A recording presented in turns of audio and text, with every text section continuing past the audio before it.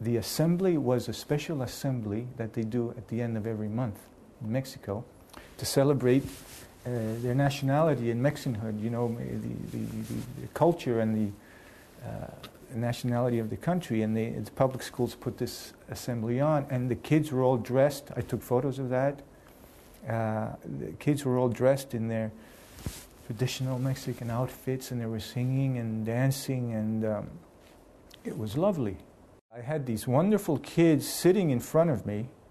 It's about 50 of them or so dressed you know, in these beautiful Mexican costumes.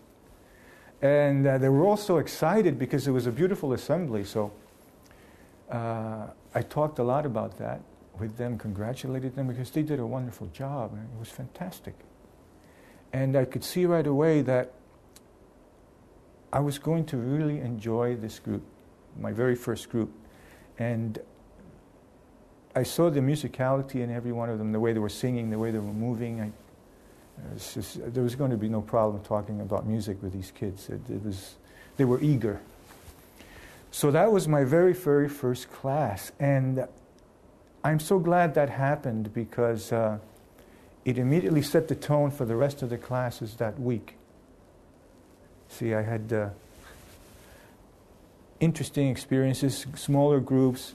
Some kids were more uh, responsive than others, but they were all very sensitive to the to, to the music. They all loved the horn. They all loved the, the uh, many, well, practically all of them never been to an orchestra concert. So I started talking about the National Arts Center Orchestra to them. And of course, Mozart. They really, really loved Mozart. You discovered a lot of things when you're dealing with kids. It's, it's not something that it's scripted. That's the, that's the whole idea.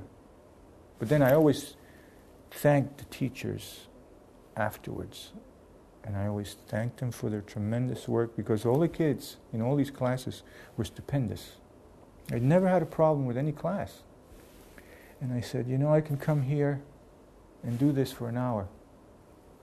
But you are here constantly and you're dealing with these kids and you're watching them and you progress and progress and there's setbacks and there's this and there's that.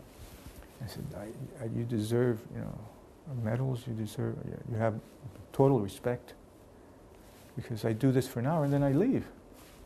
I've made wonderful friends.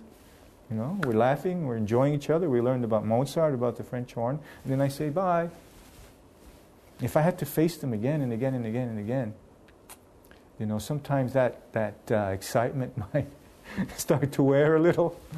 You know, but uh, I hope not. I hope there are teachers who go into class every day with that excitement. I hope, but you never know. It, it would seem difficult to me.